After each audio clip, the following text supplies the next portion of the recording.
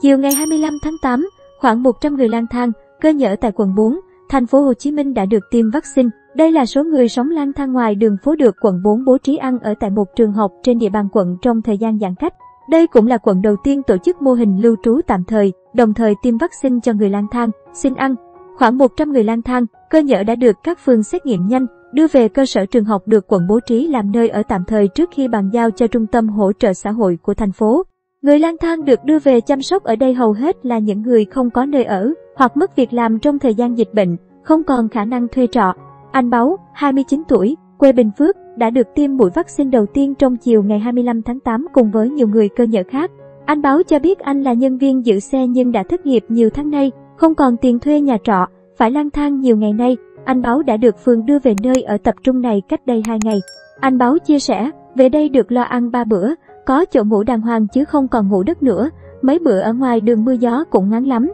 Trước đó ngày 20 tháng 8, Sở Lao động, Thương binh và Xã hội Thành phố Hồ Chí Minh đã có công văn gửi các quận, huyện, thành phố Thủ Đức về việc tăng cường đưa người xin ăn, không có nơi cư trú vào trung tâm hỗ trợ xã hội. Theo đó, các phường, xã phải xét nghiệm cho người lang thang, cơ nhở và các trường hợp có kết quả xét nghiệm âm tính có giá trị trong vòng 48 giờ sẽ được đưa về địa chỉ tiếp nhận mới tại cơ sở tư vấn và cai nghiện Bình Triệu 30, đường số 5, phường Hiệp Bình Chánh, thành phố Thủ Đức. Trung tâm hỗ trợ xã hội tạm ngừng tiếp nhận tại địa chỉ 463, Nơ Trang Long, phường 13, quận Bình Thạnh để thực hiện công tác phòng chống dịch theo chỉ đạo của Ủy ban nhân dân thành phố. Ông Lê Minh Tấn, Giám đốc Sở Lao động, Thương binh và Xã hội thành phố Hồ Chí Minh cho biết chỉ trong hai ngày 23 và ngày 24 tháng 8, các quận, huyện đã đưa khoảng 400 người lang thang vào trung tâm hỗ trợ xã hội.